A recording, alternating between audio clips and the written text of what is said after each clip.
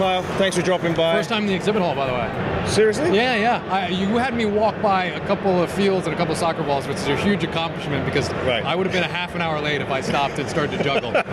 Even in dress shoes, I, I, can, I still have a touch. So, like we said to everybody, this is your opportunity to talk to the adult membership. Yeah. Right. So we're going to start off nice and easy. What's your favorite memory being involved in soccer? My favorite memory is actually a high school soccer memory. Uh, On Kristine Lilly Field in Wilton, Connecticut, the FCAC finals, which in high school was was the local competition, Right, and right. we are a, a perennial powerhouse, or used to be, in, in Westport, Connecticut. And there's a drive up to the field, and it's a nighttime game. And in high school, you don't play a lot of nighttime games. I didn't play any, but this one, it's kind of like the drive to Wembley. Right. And you're, you're, you're going up, and, and all of a sudden, pitch black, you start to see a glow peek around the trees, and you get a glimpse at the lights. And we went up to uh, to Kristine Lilly Field and beat Danbury High School in an FCAC championship. And I played in, you know, U.S. Open Cups and, and international games and World Right. Cup qualifiers and, and Confederations Cup. That that still is one of my greatest memories with my buddies, with my brother who was the goalkeeper, winning an FCAC final. Oh, awesome. Now, do you have any experience of playing in the amateur game, or coaching in the amateur game, or even being an administrator in the amateur game? So um, I am an amateur player right now, and uh, I've got my I've got my uh, my my card. Let me let me find it. It's in here somewhere. Yes. And I uh, Ah, look at that, Connecticut. yeah. I uh, need to maybe go back with the shaved head, but um, so when I when I was young, the amateur game was professional to me. Right. So Brooklyn, well, Bridgeport Italians closer, but Brooklyn Italians as an Italian American. Ah, That was my professional team. Right. Um, I grew up on that game. I had time when I was younger because it wasn't as intense as it is now as a youth player. Right. To supplement my education by going indoor in Bridgeport with the Latinos, indoor uh, with my friend Edson Buddle and his dad, the Jamaicans in Mount Vernon, and uh, that's culture to me. I mean, 250,000 members. We all know that the adult game is is much bigger than that. As a federation, we need to grow the membership and make that a priority. I was going to say, perfect, perfect segue. What can USSF do to help grow the affiliated adult game?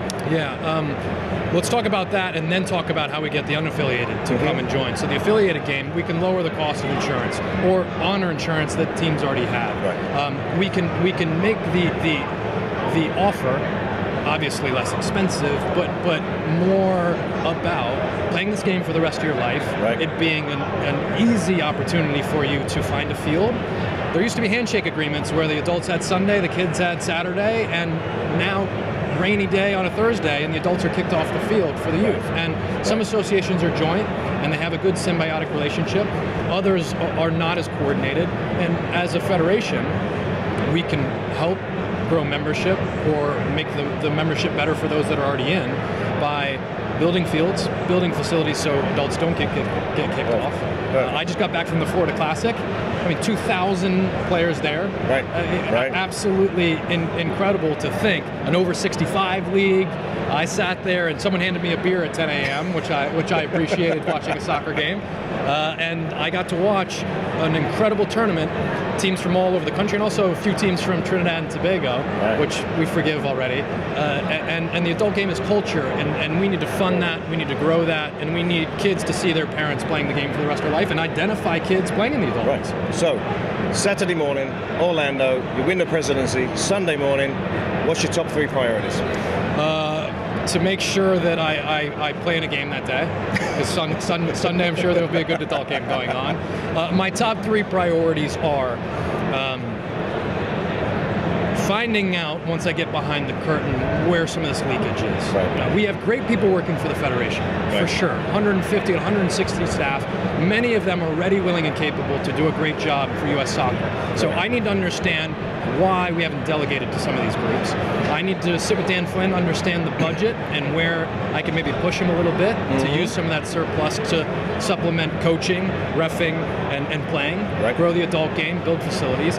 But, but most importantly, um, I, I, I need to become the president that has the humility that says, I'm, I'm here to listen. And so I've already started these listening tours. I've been traveling all around the country, and that's where my progress plan was built.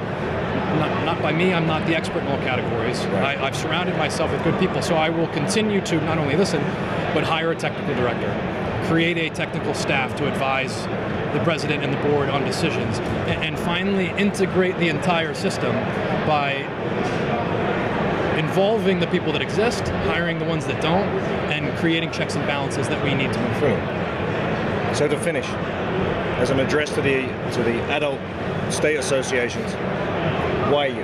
Why you? Why would? Why do you make the ideal president out of the eight candidates?